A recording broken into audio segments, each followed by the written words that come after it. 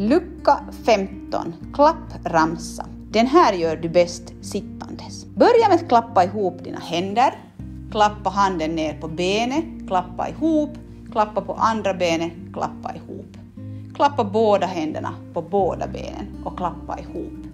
Det är den första versionen. Härifrån fortsätter du klappa i kors till en axel, klappa ihop, klappa i kors på andra axeln, klappa ihop, klappa på huvudet och så börjar allt från början. Lycka till!